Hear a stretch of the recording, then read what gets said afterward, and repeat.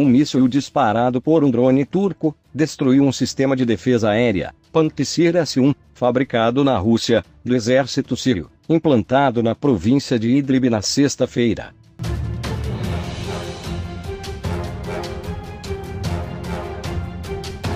Segundo o vídeo divulgado pela mídia turca, aparentemente mostra um Pantsir sírio, ativo, sendo destruído por um drone turco.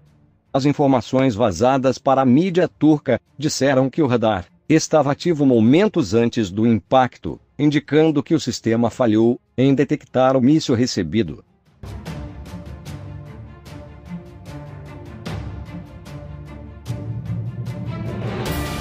A Força de Defesa Aérea da Síria supostamente tem mais de 30 unidades do Pantsir em seu inventário. A Rússia também fortaleceu a base aérea da Síria, com Pantsir, para impedir ataques aéreos. Foi implantado após uma enxurrada de drones que atingiu a base aérea em 2018.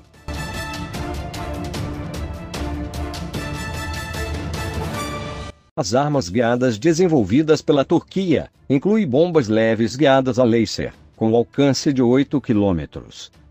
Essas munições podem ser equipadas com fragmentação cumulativa e com alta carga explosiva e ogivas termobáricas.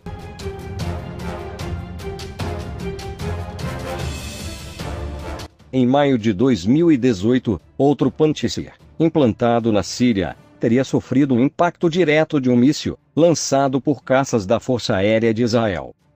Ex-comandante da Força Aérea Russa ofereceu duas explicações possíveis. O Pantsir pode ter esgotado sua reserva de munição, ou simplesmente foi desativado. Não estava pronto para a batalha, disse ele.